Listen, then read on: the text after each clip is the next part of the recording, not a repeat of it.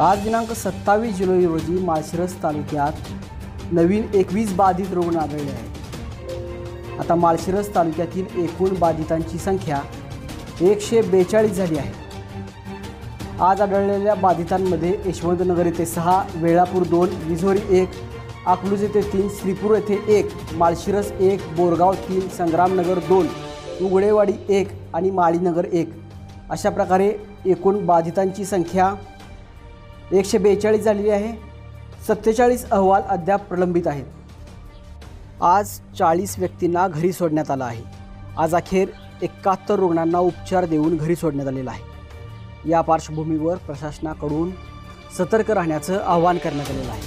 त्याचबरोबर physical distance गर्दी टाळणे स्वच्छतेचे नियम हाताची स्वच्छता आणि मास्क वापरण्याचं अहवाल माळशिरस तालुका आरोग्य अधिकारी डॉक्टर रामचंद्र मोहिते यांनी केलं आपल्या भागातील बातम्या पाहण्यासाठी एस एन एन मराठीला सबस्क्राईब